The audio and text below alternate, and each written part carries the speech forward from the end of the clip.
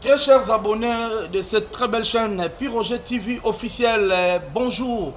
Bonjour, bonsoir par rapport à l'heure à laquelle vous êtes en train de me capter, votre humble porte-parole, votre humble informateur Pirojet, devant vos petits écrans, devant vos téléphones, devant les ordinateurs pour euh, euh, regarder cette très belle émission Masolo à Monamboka. mbote na bino banso bozwili bakuli na bolandi mwana mboka piroge lolaka ya congo omatalatala ma bino na kolika ete bozwami baike mpo na kolanda maloba maye mwana mboka piroge akomopesa na bino mpo bokoka komanyola mpe kososola manso mazali koleka na kati ya wenge muzika maison mare ya mbote na fungola lokasa vraiment na mawa toke kokabola mawa na alanga nzembo ya mboka na biso président kofi olomide oyo auti kobungisa mama na ye oyo abota ye mama ami d'ailleurs biso tu toyebi euh, bolingo oyo kofi olomide alakisa na mama na ye lelo oyo mama atiki ye en tout cas courage na lega mopao tika te molimo ya mama epema na kimia voilà donc euh, tozongi na bainformation ya wenge musique ya maison mère mbote ya lifiki ya limemi ya botosi na tata mokonzi ku monene ya wenge mwana mboka werrason son excellence monsieur l'ambassadeur de la paix oyo mpa totala biso d'ailleurs euh, naye kaka koinforme bino ke lobi tozalaki na conseil des ministres eh, donc si je dis conseil des ministres donc réunion extraordinaire ya bamembre bacadre ya wenge mosika maison mère biso nyonso tu tozalaki réuni tout autour ya président na biso werrason oyo aprésidaki réunion wana oyo apesa baorientation oyo ayebisaki biso koma toyei kotambola lisusu euh, mpo na bonne marche ya wenge musika maison mare mpe kosepelisa bafanatique puiske wenge oyo tozali eza wenge ya werason mais amitika azalaka dirige na bafanatique apesa pouvoir na bino bafanatique oyo nyonso bolingaka wenge musika maison mare baprésident rigo kiyama ba président mbila nkolo sponsor officiel ba président golf kizola dégâts matériel atikela bino mouvement oyo hein? apesa bafatu bo avida pouvoir wana bamama monique mama sociale bamama gel mwanza apesa bino pouvoir wana baya fredi ngoma bavie bertin mosolo ba brino lubika mbongo propre apesa werason apesa bino pouvoir wana ba mdd business fiston ituku werrason apesa bino pouvoir ba pdg malou mavoka donc werrason ayokaka bino alors oyo elingi bino yango werrason asalaka yango mona soki likambo eza igwe abengaka biso biro bendaka biso matoi apesaka biso baorientation mpo na bonne marche ya wenge na réunion wana tozalaki secrétaire général azalaki wana katakata tozalaki na cordon papi mvula azalaki wana tozalaki na directeur ya marketing pichu musungu azalaki wana tozalaki na sankara de kunta tozalaki na piroge mwana mboka papi le prince sediko tozalaki wana e tozwaki baorientation toyokaki mokonzi nyonso toyo alobaki toyokaki yango le roi de la forêt à travers secrétaire général ayebisi ngai nayebisa bino boye bafanatique ya wenge soki bomoni membre moko ya wenge oubien misien moko ya wenge azomarche bien te oubien asali interview moko oyo esepelisi bino bafanatique te oubien aderaye prenez seulement l'image bozwa ka image wana botindela secrétaire général soit botindela directeur ya marketing comme ça on va voir totala soki comment on peut, on, on peut sanctionner parce que na wenge il n'y a pas de compétence wenge muzika maison mère werowera son le roi de la forêt akotelaka motu te o oh, akoteli membre oyo oh, akoteli mise non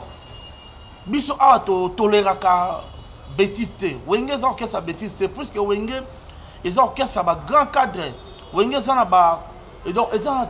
toute, toute euh, personne confondue na kati wana toza na bato wenge toza na baétudiant wenge toza na badocteur wenge toza na bajoueur wenge toza na bato tout bayanke bato tout na kati ya wenge basoldat bapolicier balingaka wenge alors il faut to respecter eza patrimoine national wenge ne tombera jamais alors soki eloko moko ezotambola te vous avez vraiment cette euh, opportunité ya kosolola yango ya koyebisa bureau et on va, on va vraiment répondre euh, plus vite que possible mpona koyebisa bino na actualité bosimbaka ke euh, après village chetemba nde tobukaki yango toyaki kobeta fikin semaine passée week-end passé et euh, jeudi passé toyota kobeta na njili na, na kolwa kimbuta ezalaki suka eh, président dada muzinga nouvelle génération ezalaki suka baby sugar eh, ah, ezalaki suka donc oyo bazalaki wana basepelaki bacompagnie werrason ndenge Alain Bintika na Belgique alingaka na ba Davin Touloulou de Bruxelles papa na Davina nde balingaka donc ezalaki mpenza très bien yango to remercier bino ba fanatique même atanga pi roger soki nasali eloo moko oyo edéraye vous avez cette droit ya kozongisa ngai na nzela bozwi image wana botindeli secrétaire général ou bien directeur marketing on, on va me sanctionner nga kutu basanction nazwa nga kutu doyen nazwa ba sanction pour dire que na wenge eza bongo on travaille wenge on ne vient pas pour insulter les musiciens werason atika alors il n'est pas d'accord na bagenre ya bainterview ya bongo werason était fâché na bagenre ya baimage mosusu elekaki na bainternet banini werason très fâché et il promet de sanctionner Werrason nous promet de sanctionner mutu nyonso tu oyo asali ba interview buzoba ya kofinga batu Werrason il promet de sanctionner mutu tu atie ba image ya bien te ba image mosusu eza en coulisse kotya yango na internet to ya kotya yango na télévision pour que bato bamona yango mpo na koluka kopelisa moto Werrason n'est pas d'accord avec ça cher euh, abonné cher fanatique de wenge musique à maison mère bozala na bino à l'aise bozala à l'aise werrason il est là pour vous servir bozala vraiment à l'aise le roi de la forêt hier m'a parlé il nous a parlé beaucoup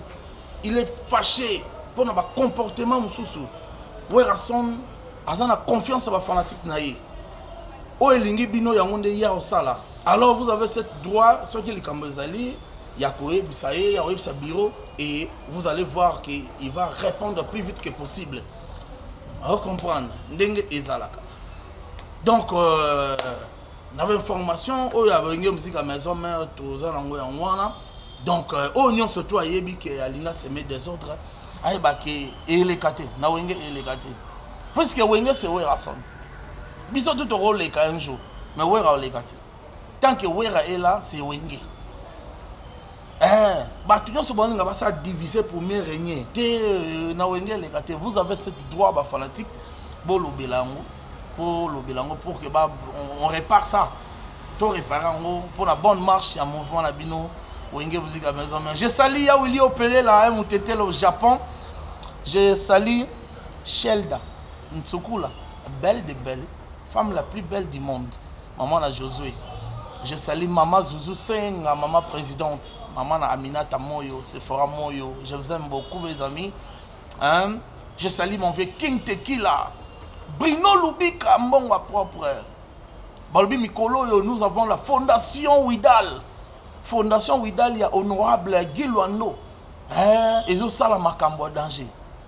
ezosala makambo très bientôt werrason na paris tournée européenne ezoya na 2021 en tout cas bafanati ya maison mère amikila poto le président golf kizola ya jean matundu fredi ngoma vieux bertin mosolo président dome na lille boprépare mpo tozoya poto bana, bana mikili piroge azoya passeport deja yango oyo mikolo na otambolaka na passeport na ngai donc mpo na visa kala te donc ezokota wa eh, mikolo oyo nayaka na yango donc mikolo oyo nayaka na plus pasa donc yango nde mikolo na otambola na yango donc kala te na oya paris wana puis roger na paris tokokutana biso tu wana